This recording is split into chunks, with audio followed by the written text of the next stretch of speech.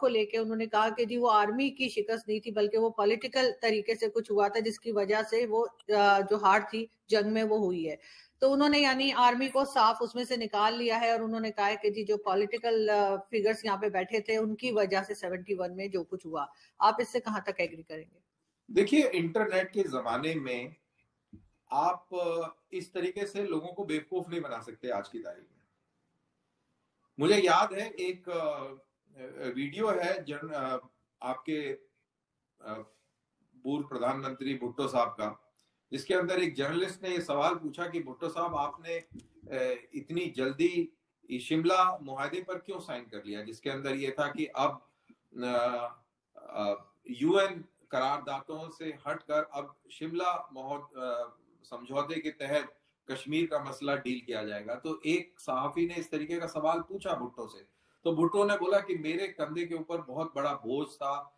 मेरे को नब्बे हज़ार से ज़्यादा फौजियों को भारत के prisoner of prisoner of war camp से छुड़ाना, ये मेरे लिए एक बहुत बड़ी प्रायोरिटी थी। तो या तो वो प्राइम मिनिस्टर झूठ बोल रहे थे, या जो हमारे रिकॉर्ड्स हैं, आपके पास भी वो रिकॉर्ड्स हैं, ये सारे के सारे फौजी, तिरानवे हज़ार फौजी अटारी वाघा बॉर्डर से पार हुए। इनको पार कराने में छह महीने का पूरा टाइम लगा। तो ये सारे रिकॉर्ड्स मौजूद हैं। तो बाजवा साहब कह रहे हैं कि वो तिरानवे हज़ार नहीं थे, वो दरअसल पैंतीस हज़ार थे, पैंतालीस हज़ार थे, जो भी उन्होंने फिगर दिया। तो ये किसको बेवकूफ़ बना रहे हो यार? आज के जमाने में चीज़ें नहीं छुपती हैं। बाजवा साहब, आप बुढ़े हो गए हैं। आपको पता नहीं मोबाइल आता है, चलाना कि नहीं आता है। आपने कभी कोई सोशल मीडिया में इंटरेक्ट किया है कि नहीं किया? आई डोंट नो रिटायरमेंट के बाद इनको समय काफ़ी मिलेगा और तब इनको शायद पता लगेगा कि कितना जमाना बदली हो गया है। जब ये किसी जमाने में फाकते उड़ाया करते थे, तब से लेकर और आज तक बहुत कुछ बदली हो गया है। अब एक्सक्यूज मी अब जहाँ तक वो बात जो बाजवा जी ने कही, वो मैं आपने पूरी नहीं कही, मैं पूरी कह देता हूँ। बाजवा साहब ने ये कहा कि इंडियन आर्मी बहुत सारे इंसानी हकूकों की खिलाफ वर्जी करती है लेकिन उसके ऊपर कोई तनखीद नहीं होती। वहीं पाकिस्तान की फौज आ, मुल्क का दिफा करती है लेकिन यहाँ पर तनकीद बहुत होती है क्योंकि वो पॉलिटिक्स में मुलवज है और ये माजी में हमसे बहुत सारी गलतियाँ हुई हैं। ये इस मोटा मोटी उन्होंने इस तरीके से बात कही। तो जनरल बाजवा साहब ऐसा है क्योंकि अगेन बात सारी डेमोक्रेसी फ्री प्रेस की आ जाती है। हमारे यहाँ पर जो एमएलए एमपी है, वो अपने दम पर वोट लेके आता है। उसके पीछे ना आईबी होती है, ना रॉ होती है, ना मिलिट्री इंटेलिजेंस होती है और ना फौज होती है। और उसकी जवाबदेही डायरेक्टली डायरेक्टली आवाम के दरबार में होती है। अगर, और देखिए, हर एक महकमे में गंदे लोग होते हैं, खराब लोग होते हैं। और ऐसी कोई कार्रवाई अगर कोई कर दे तो यहाँ पर इंडिया में बहुत बवाल मच जाता है। रोड जाम हो जाते हैं, बहुत बड़े मुजाहरे हो जाते हैं और जीना मुश्किल हो जाता है। एमएलए एमपी का घर से निकलना मुश्किल हो जाए और ऐसे वाकयात हुए हैं। तो अगर कोई ऐसी कार्रवाई होती है तो इंडिया के अंदर बहुत तेज़ी से उस सैनिक अधिकारी या पैरामिलिट्री का कोई ऑफिसर है, उसके खिलाफ कार्रवाई होती है। आप पिछले तीस चालीस साल के अखबार उठा के देख लीजिए, आप रिसर्च कर लीजिए कितने human right violation case Indian army के रिपोर्ट हुए और उनके ऊपर क्या कार्रवाई हुई।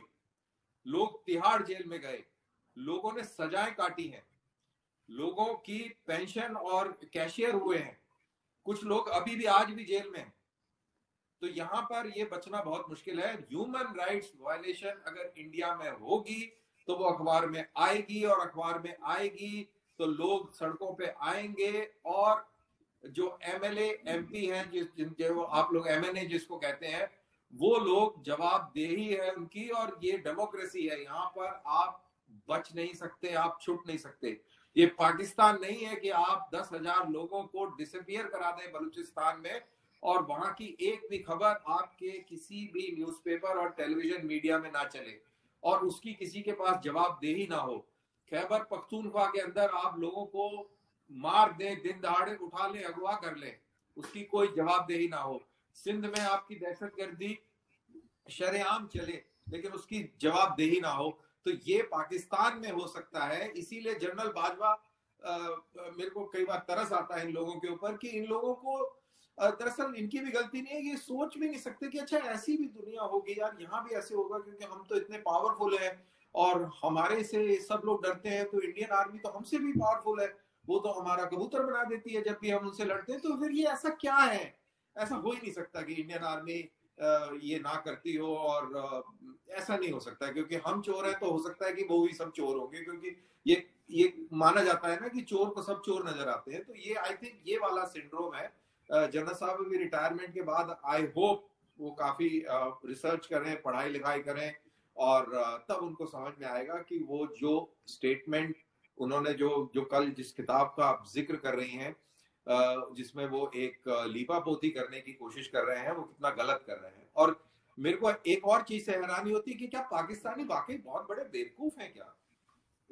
भाई 71 की लड़ाई को आपने कहा कि वो पॉलिटिकल फेलियर था, मिलिट्री फेलियर नहीं था। अरे भाई, पॉलिटिक्स में कौन था?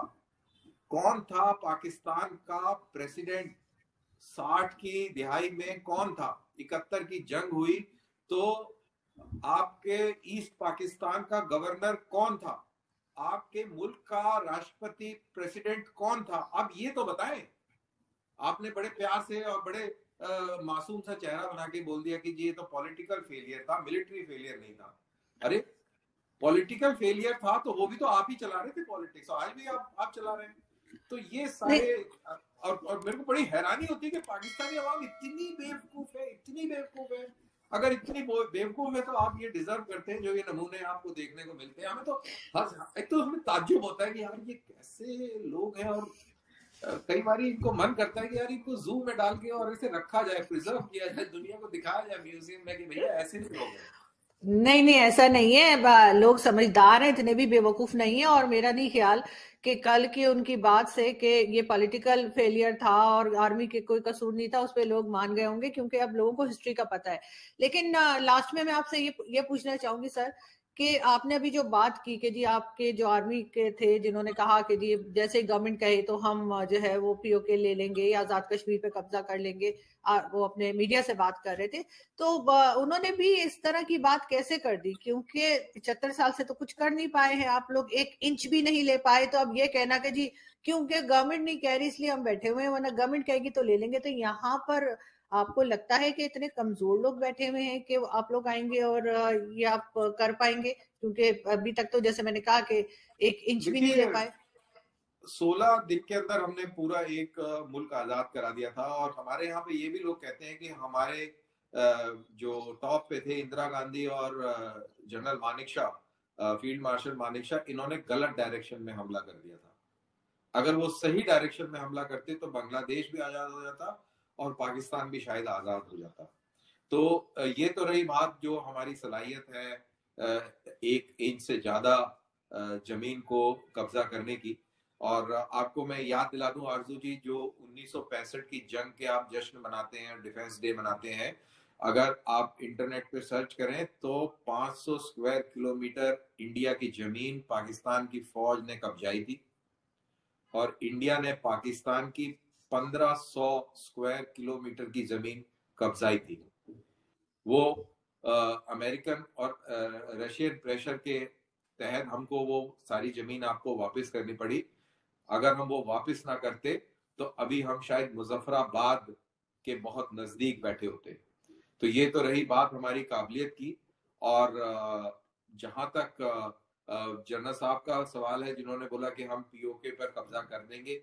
अगर ज़रूरत पड़ी तो इसमें कोई दो राय नहीं है हम बिल्कुल कर भी देंगे। लेकिन उनको ये बोलने की ज़रूरत इसलिए पड़ी क्योंकि हमारे डिफेंस मिनिस्टर राजनाथ सिंह ने इसी तरीके के आ, किसी आ, इवेंट में ये कहा कि पीओके हमें लेना है और हमारा पार्लियामेंट का रेजोल्यूशन है कि हमें पाकिस्तान ऑक्यूपाइड कश्मीर है, उस इलाके को पाकिस्तान के कब्जे से आज़ाद कराना है। ये हमारा पार्लियामेंट का एक मौकफ है। इसमें कोई गलत बात नहीं है, हमने आज़ाद कराना है। और इंडियन आर्मी है, ये जब तक हमारे पॉलिटिकल बॉसेस नहीं कहेंगे कि आप हमला करें और तजवीज बनाएँ और इसको हासिल करें, तब तक अपनी मर्ज़ी से थोड़ी बंदूक उठा के और वहाँ घुस जाएँगे। तो ये आपको चीज़ समझनी चाहिए but at the same time इसको कॉन्टेक्स्ट में देना बहुत ज़रूरी है कि हमारे प्रधानमंत्री नरेंद्र मोदी ने ये कहा है कि लड़ाई का जमाना नहीं है, ये जमाना तजारत का है पीस का है और लड़ाई के दिन लग चुके हैं। यूक्रेन की जंग के हवाले से उन्होंने ये बहुत फ़ेमस स्टेटमेंट एस के दौरान उज्बेकिस्तान में दिया था और उसके बाद इसको